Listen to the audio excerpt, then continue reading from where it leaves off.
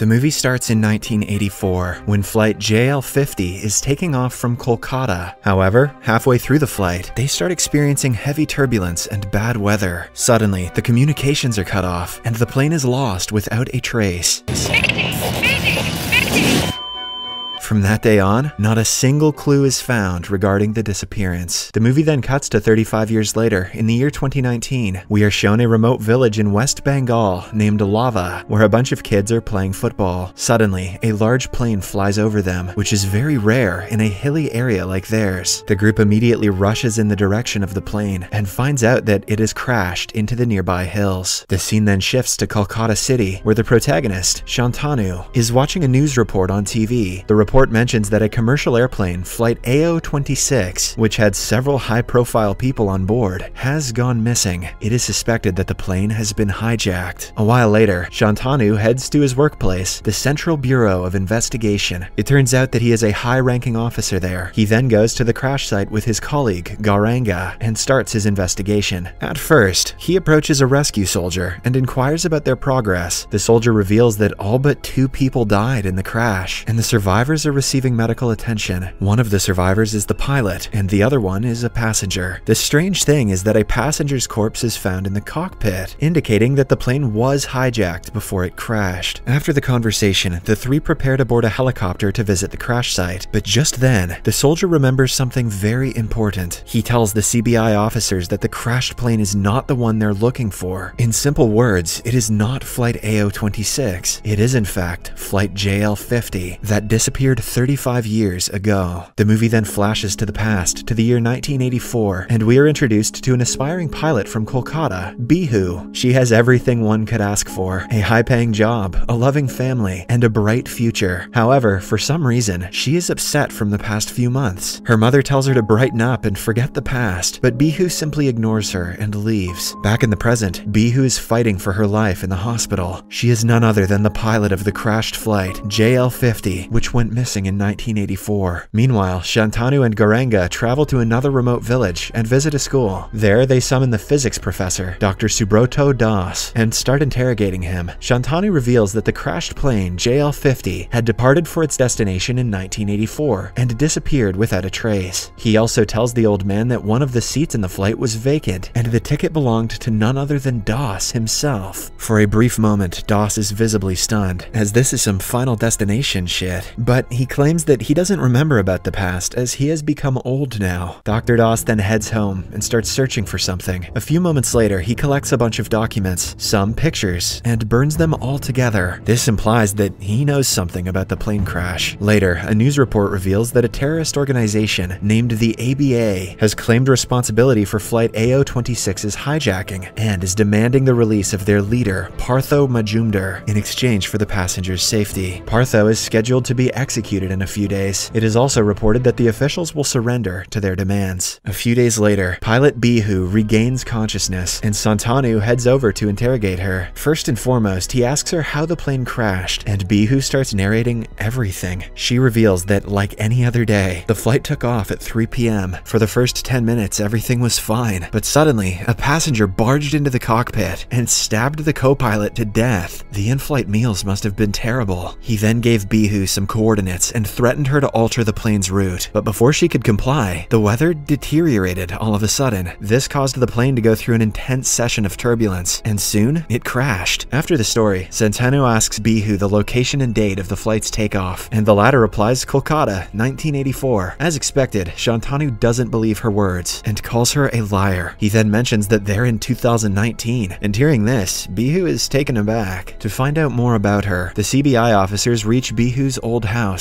and interrogate some of the neighbors nearby. Since the incident happened 35 years ago, not many people know her, but fortunately they come across a couple who were close to Bihu's family. The husband reveals that Bihu was a skilled pilot, but her career started going downhill when she got into a relationship with a man. He made her pregnant before marriage and passed away mysteriously. However, Bihu's breaking point came when her child was born dead. Soon, the husband takes out a photo album and shows a picture of Bihu right before she was killed in 1984 1984. Lo and behold, she looks exactly like the Bihu in the hospital. Despite the evidence, Santanu, who doesn't believe in time travel, still thinks that everything is fabricated. Later, he heads back to the CBI base and listens to the black box recording of JL-50. As Bihu had mentioned previously, some hijackers entered the cockpit and killed the co-pilot. Then, after a while, everything went silent. Santanu asks his technician the last date the black box recorded anything, and the latter mentions August 23rd, 1984. This comes as a surprise to everyone, as a black box is virtually indestructible. Hence, they adamantly have to believe that the plane has somehow traveled through time to the year 2019. Meanwhile, the second survivor from the JL-50 flight crash, Mitra, has regained consciousness. When a nurse informs him that the crash has another survivor, Mitra immediately heads to Bihu's room to finish her off. Luckily, a nurse notices him and calls for help. However, instead of surrendering, the lunatic Mitra holds the nurse at knife point and emerges in the hospital's hallway. Santanu also arrives at the same time and tries to calm Mitra down, but the latter doesn't listen. Instead, he slowly approaches the main door, and when everyone is expecting it the least, he escapes. Santanu runs after the lunatic, but by the time he reaches downstairs, Mitra has already escaped in a car. Suspicious, Santanu then conducts research on him. He finds out that Mitra was a genius who was a professor at the Kolkata Science Research Center. He was also a left-wing activist who was involved with some terrorist organizations 35 years ago. After finding Mitra's address, Santanu reaches his home. There, he finds a huge collection of books, files, and other research papers that Mitra had written in his lifetime. Santanu opens one of the files and comes across a research paper named Project A. When he flips over some pages, he also finds the blueprint of the JL-50 flight. Realizing that it is related to the plane crash, he decides to take the file with him. Later, in order to find out more about Mitra and his Project A, Santanu goes to the Kolkata Science Research Center and talks to a professor named Ashwini. As soon as Ashwini hears about the project, he starts giving a history lesson. He mentions that in 253 BC, the Emperor of India gathered scholars, scientists, and philosophers from all around the country to produce nine different books, which taught about several supernatural arts like invisibility, the ability to fly, and time travel. These books were then buried into the ground, fearing that the enemies might use it for their personal use. Several millennia later, some pages of the time travel book were found, and a team of researchers was put together to prove the theory. This top secret research program was labeled Project A, but no conclusion ever came from it. After hearing this story, Santanu inquires about Mitra, but Ashwini mentions that he doesn't know much about him. Instead, he suggests Santanu meet Dr. Das, claiming that the two were very close back then. At night, an enraged Santanu barges into Das's house and confronts him for lying earlier. He then brings out the Project A papers and tells Das to reveal everything. Left with no choice, the old man starts speaking. He says that Mitra's father was a part of Project A, but when they couldn't find any conclusion, the government pulled the plug on it. Years later, Mitra continued his father's research, and after working day and night, he finally found the code. Once again, Santanu doesn't believe in the story and calls it BS, but Das tells him that everything is true. He continues by saying that Mitra, using his genius mind, researched the incomplete Project A papers and found the formula, with the help of which he discovered some wormholes in the Earth's atmosphere. Through these wormholes, time travel is possible. Das further mentions that he was Mitra's disciple at the time, so he knew the entire plan. Mitra wanted to hijack a plane, fly it through the wormhole, and reach another timeline. For this, he formed an alliance with Partho Majumdar, who is the terrorist leader that caused plane AO-26 to be hijacked in the present time.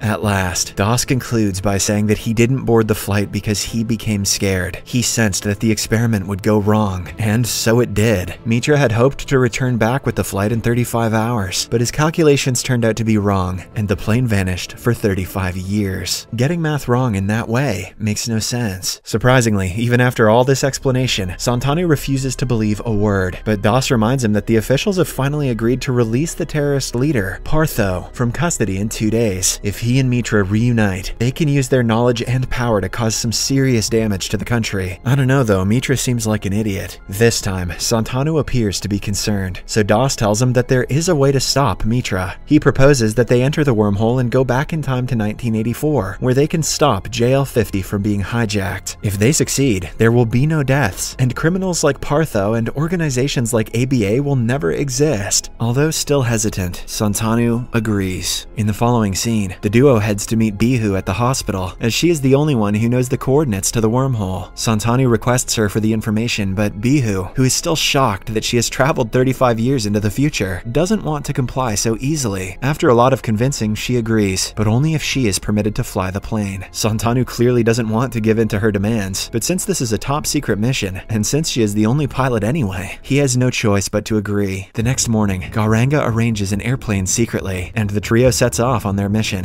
Santanu still thinks that everything's a joke, but as they are about to reach the supposed wormhole, everything starts shaking. Suddenly, the plane malfunctions, and Bihu is forced to make an emergency landing in an open field. The area seems completely different from the one they just left. Soon, a vintage car arrives, and the three ask for a lift and get in. After a while, they reach Kolkata City, and Santanu finally realizes that they have actually arrived in 1984. The streets, buses, hotels, and the people, everything resembles the 80s. Although Santanu is taken aback by the weird situation, he decides to finish off what they came for. But at first, he wants to grow a mustache. I mean, he wants to get something off his chest. At night, he heads to an orphanage, and here it is revealed that Santanu is an orphan who was dropped off at the same orphanage in the year 1984. He waits for a while, and suddenly two men arrive in a car and drop the baby inside. Santanu rushes inside to check if the baby is him from the past, and from a locket, he verifies his assumption. I suspended disbelief for the time travel thing, but the coincidence of this timing is absolutely ridiculous. The next morning, he joins Das and Bihu, and the three start discussing their next step. Das, who is a close confidant to Mitra in the past, reveals that the secret meeting on the JL-50 hijacking is going to take place this evening, in a warehouse outside town. Later, the group reaches the said place and waits for the perpetrators to arrive. While inside the car, Santanu curiously asks Bihu if she saw her stillborn child with her own eyes, but the latter has no answer for this. Bihu simply says that after the delivery she became unconscious, and when she woke up the next day, her parents gave her the bad news that her baby was born dead. Meanwhile, Mitra, Partho, and other thugs arrive at the warehouse, and the meeting commences. Hence, the three make a plan. Das and Santanu will be confronting the thugs inside, while Bihu will be waiting in the car. According to the plan, the two head inside and point their guns at Mitra and his men. But just then, the goons also strike back, initiating a deadly shootout. Fortunately, Santanu uses his superior combat skills and takes down the thugs one by one. In the end, he also takes down Partho, while Dr. Das kills his former mentor, Mitra. Now, with the mission accomplished, Santanu grabs the suitcase containing Project A papers and tries to burn it. But surprisingly, Das holds him at gunpoint and threatens for him to stand back. Here, it is revealed that everything was Das's plan all along. Since the original Project A papers were burned to ashes in the JL-50 crash, the exact coordinates for the time travel wormholes were lost. However, Das was not ready to give up so easily. So when Santanu approached him for interrogation, an idea struck his mind. He decided to use the CBI officer to travel back in time and steal the papers, with the help of which he could gain immortality. What? Das also reveals that the day Mitra escaped from the hospital, he arrived at his house, but instead of helping, Das killed him, hence removing a major obstacle from his path. With this revelation, the two shoot at each other, but Das comes off of it the worst, allowing Santanu to destroy the papers once and for all. He then proceeds to leave with Bihu, but suddenly, all three of them begin experiencing an excruciating, painful sound. It turns out that since Mitra and his men were killed, the plane JL-50 never got hijacked, and hence, the three never traveled to the past.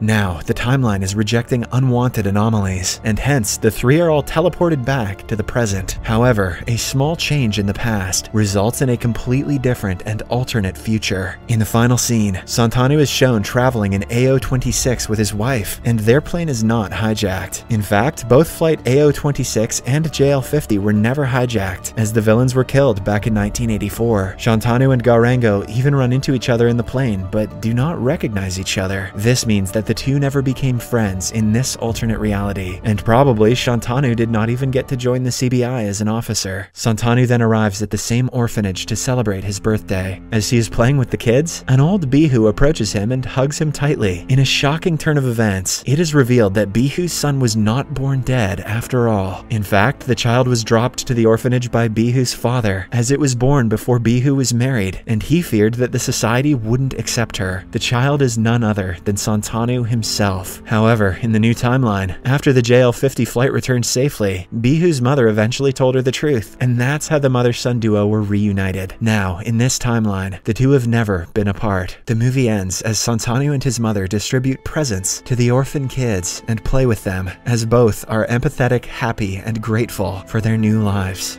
Subscribe for more videos like this, turn on notifications, and leave a like to help the channel out. Thank you for watching.